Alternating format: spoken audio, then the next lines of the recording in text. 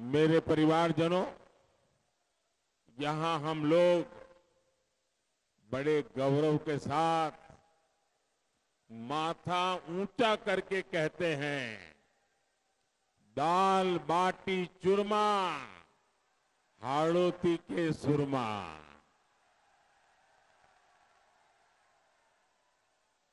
लेकिन सुरमाओं की इस धरा को कांग्रेस ने दंगाइयों का खुला मैदान बना दिया है। पीएफआई एक आतंकी संगठन है।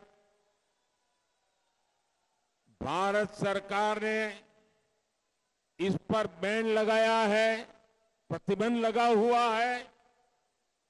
वो गैर कानूनी है, लेकिन कोटा में पीएफआई की रैली निकलती है, जुलूस निकलता है।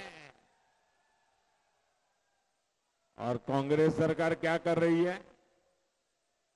सोई पड़ी है। तुष्टिकरण की गुलाम कांग्रेस सरकार आतंक परस्तों से डरती है और राजस्थान का भला चाहने वालों पर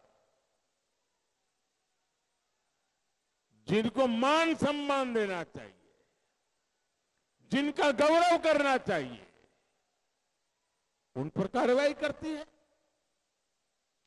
यहाँ राजस्थान में रामनवमी के हनुमान जयंती के जुलूस रोके जाते हैं। पावन त्योहारों में कर्फ्यू लगाए जाते हैं। लेकिन कांग्रेस के शासन में आतंकी संगठन, पीएफआई की रैली, पूरे शान से पुलिस बंदोबस्त के साथ कराई जाती है। ऐसी कांग्रेस सरकार जितने दिन यहाँ रहेगी, उतना ही राजस्थान का नुकसान होगा।